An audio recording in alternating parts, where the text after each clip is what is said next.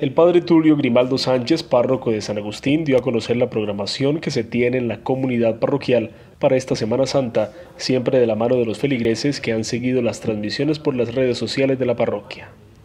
Mañana, jueves santo, tendremos la solemne misa de la Cena del Señor a las 4 de la tarde. Por lo que hace al Viernes Santo, tenemos la siguiente programación.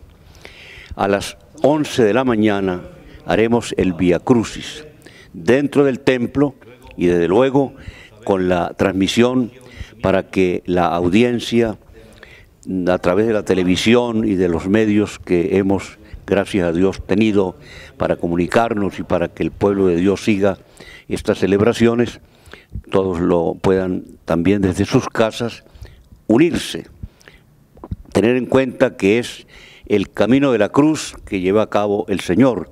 Acompañémoslo pues, ya que no es posible subir a Cristo Rey como en otros años, pues desde el templo de San Agustín haremos los sacerdotes el Vía Crucis. 11 de la mañana del Viernes Santo. En horas de la tarde, la celebración de la Pasión del Señor desde el templo parroquial y el Sermón de las Siete Palabras, muy concurrido por los feligreses que seguirán por las redes sociales para luego el sábado hondar en la celebración propia de la Vigilia Pascual.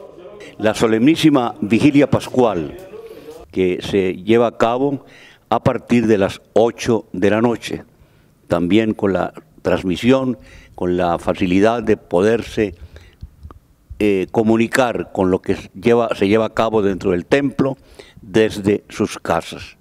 Y finalmente, la solemne misa de la Pascua en la resurrección del Señor a las 10 de la mañana, el 12.